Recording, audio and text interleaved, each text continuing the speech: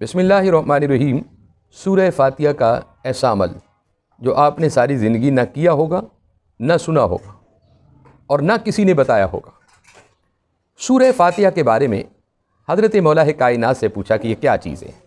फरमाया कि अल्लाह के ख़जानों में छुपी हुई चीज़ थी, जिसे अल्लाह ने ज़ाहिर कर दी। और फिर एक मौके पर फरमाते हैं कि सूर फातिया वो शरीफ है सूर फातिया वो सूरत है कि सत्तर ऊँटों पर अगर इसकी तफसीर और तहरीर लिखना चाहूँ तो वो भी मुकम्मल नहीं हो सकती। और जब मेरे सुल्तान बाहू रहमत से पूछा कि सूर फातिया क्या चीज़ है तो आप फरमाने लगे कि सूर फातिया जो है, ये इसमें आज़म है। फिर एक मकाम पर हज़रत सुल्तान बाहू फरमाते हैं कि सूर फातिया सिवाय मौत के इसमें हर चीज़ के लिए शिफा रखी गई है। आप इसको इस तरीके से करें और फिर देखें कि ज़िंदगी की बहारें और खुशियाँ किस तरह आती हैं। अगर आप रिज़क के लिए करना चाहते हैं, रिज़क के लिए करें। औलाद के लिए करना चाहते हैं, औलाद के लिए करें। घर के लिए करना चाहते हैं, घर के लिए करें। कारोबार के लिए करना चाहते हैं तो कारोबार के लिए करें। गोया कि सूरह फातिया जो है, ये अल्लाह उसके महबूब सल्लल्लाहु अलैहि की पसंदीदा सूरत है। और एक मकाम पर हुजूर अकरम फरमाते हैं कि सूरह फातिया जो है, कुरान करीम की जीनत है। अब इसको आपने पढ़ना किस तरह है? आपने इसको नमाज़ जुमा से शुरू करना है जुमा वाले दिन से। जुमे वाले दिन आपने बिसमीम पढ़ना है। बिस्मिल्लाह शरीफ आपने सात सौ सतासी मरतबा पढ़ना होगा, बाद नमाज़ ईशा इसी तरह आगे चलते हैं कि हफ़्ते वाले दिन आपने क्या पढ़ना है? अल्हम्दुलिल्लाह रब्बिल आलमी यह आपने कितना पढ़ रहे हैं? चौदह सौ इकतालीस मरतबा ईशा की नमाज़ के बाद। फिर आगे चलते हैं इतवार वाले दिन। अर्रहमान रहीम मालिक यौमिद्दीन। यह आपने इतवार को बाद नमाज़ ईशा ग्यारह सौ ग्यारह मरतबा। आपने पढ़ना होगा। उसके बाद फिर पीर वाले दिन ईया का नाबुदू व ईया का नस्तीन इसको आपने एक हज़ार और ग्यारह मरतबा पढ़ना होगा। इसी तरह मंगल वाले दिन ई दिन सरातमस्तकीम सतारह सौ ग्यारह मरतबा। ये आपने आय मुबारक को पढ़ना होगा।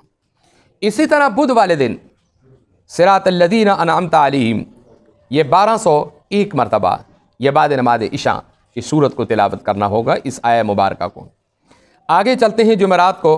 गैरमदूब अलहम वलद्वालीन। ये बारह सौ इक्कीस मरतबा। गोया कि आपने अव्वल और आखिर इसके दरूशी पढ़ना होगा।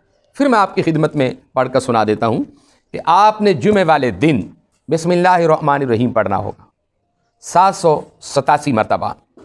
और फिर हफ़्ते वाले दिन आपने अल्हम्दुलिल्लाह रब्बिल आलमीन ये चौदह सौ इकतालीस मरतबा पढ़ना होगा।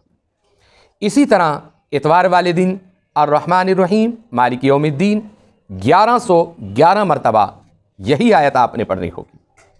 इसी तरह फिर पीर वाले दिन ईया का नाबुदू व ईया का इसको आपने एक हज़ार और ग्यारह मरतबा पढ़ना होगा। आगे चलते हैं मंगल वाले दिन ईद नसरातमस्तकीम सतारह सौ ग्यारह मरतबा यह आपने पढ़ना होगा।